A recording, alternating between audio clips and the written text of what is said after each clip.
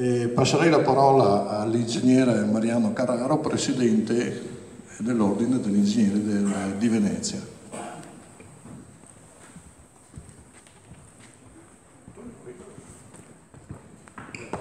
No, mi stavo chiedendo se era opportuno di farlo in piedi o seduto, eh, forse meglio in piedi.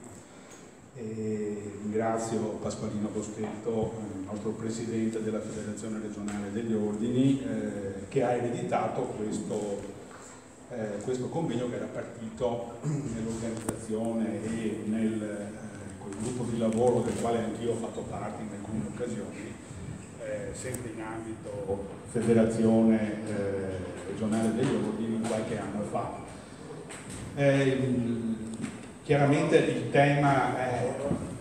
Buongiorno. Buongiorno.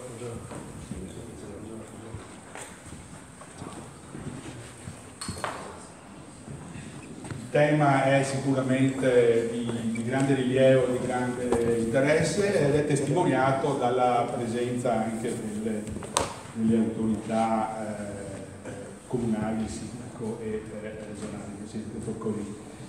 E, e, anche da, dai relatori e da tutti voi che oggi avete voluto partecipare. Come Presidente del, dell'Ordine degli Ingegneri di Venezia, eh, quindi vi do il benvenuto e eh, vi auguro di eh, trovare risposte, qualche risposta ai temi eh, che interessano eh, Porto Marghera che è un'area di, di, grande rilievo per, eh, per, la città di Venezia, per il Veneto, per il nord-est e probabilmente anche per il nord Italia. Eh, eh, Porto Marghera e la sua area industriale che ha festeggiato un paio d'anni fa la, il centenario della, della nascita, perché insomma è sorta, è nata nel 1917, e ha determinato una serie di trasformazioni territoriali, sociali nel nostro territorio in positivo e anche purtroppo in negativo. Eh, chi lavora nella, in quest'area sa quali eh, problemi di inquinamento ci sono stati, se sono determinati e quali difficoltà si eh, riscontrano per poter lavorare tutt'oggi però eh, Porto Marghera e Marghera costituisce, costituisce senz'altro oggi una grande opportunità per, per, la città di Venezia e, per il Veneto stesso e quindi eh, sono assolutamente positivi tutti questi eh, incontri, che, eh, seminari che si fanno per individuare eh, delle soluzioni che possano avere effetti positivi appunto per i nostri territori.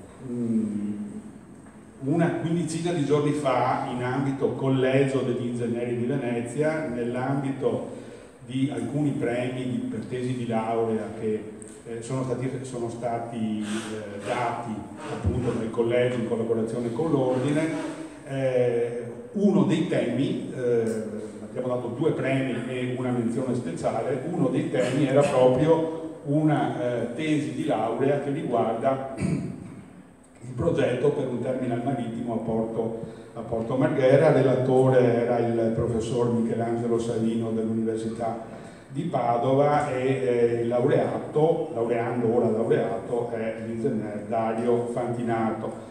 Eh, qui dentro sono eh, contenuti una serie di analisi che fotografano la situazione attuale, una delle molte analisi e naturalmente nelle tesi di laurea bisogna anche un po' sognare, insomma, quindi sono stati, apportati, sono stati portati delle, delle ipotesi progettuali eh, sicuramente di interesse e che sono quelle che sono in campo in questi, in questi anni.